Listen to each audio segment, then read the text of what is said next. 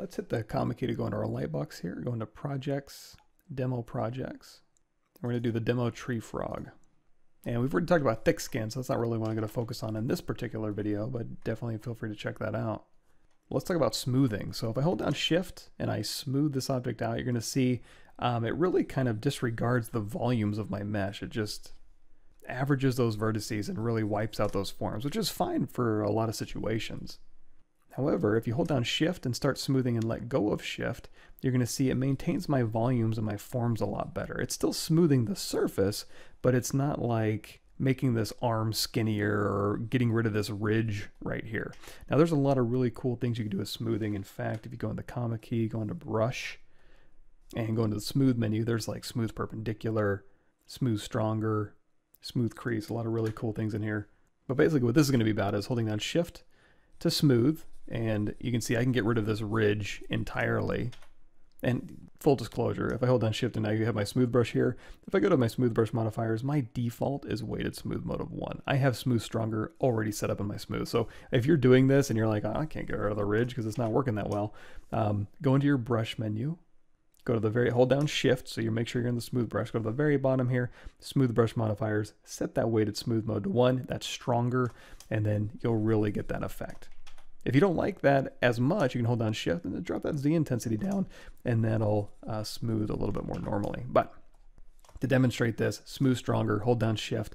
And again, it's just gonna obliterate your forms or your volumes. If I hold down shift, start smoothing and let go of shift, it's gonna do an alternate smoothing method that smooths my surface but keeps my volumes.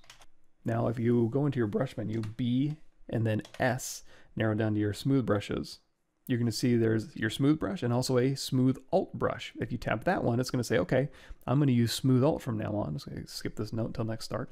So now when I hold down shift with smooth alt as my smooth brush now, hold down shift, go in here and smooth, you're going to see this one is going to retain my volumes.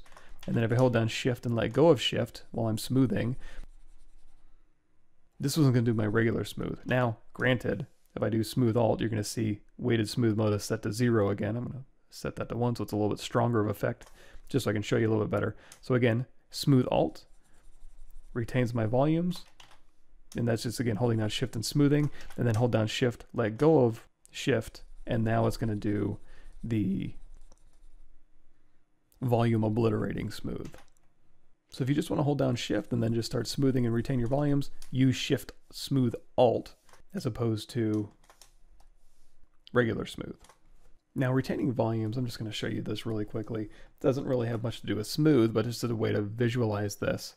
If I go in here, grab a sphere 3D, drag it on my canvas here, go into edit mode, make polymesh 3D, go in here to control shift, hold on control shift and go in here and select slice, slice curve. So we're going to go through here.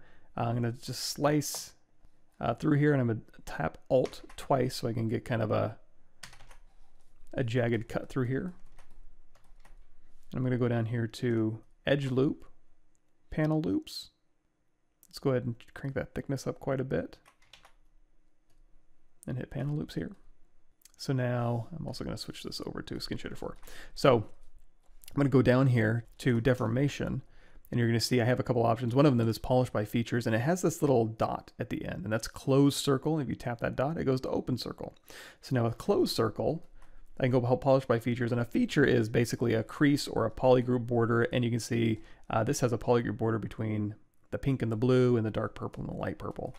So if I go in here to polish by features close circle and I crank that to the right, you're going to see, and I'll, I'll just exaggerate this, so if I, if I kind of make these lines wiggly, I can go through here and polish by features close circle, and I can straighten out those lines, but I'm still retaining the overall volume of my sphere. That isn't really changing. So you can think of closed circle as like volume preservation, just like the alt smooth.